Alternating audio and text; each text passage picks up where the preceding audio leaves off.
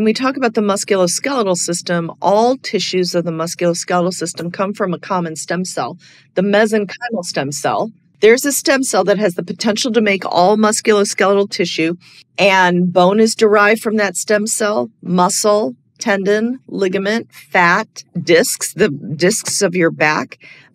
So I say they're cousins because they come from a common ancestor. Therefore, they speak a common language. So not only do bone and muscle and all these tissues actually communicate with each other by producing hormones, you know, fat produces leptin, which affects the muscle and bone. Bone produces osteocalcin, which affects the fat and the muscle. Muscle produces irisin and klotho, which affect the muscle and the bone. Everybody's talking a language that everybody understands.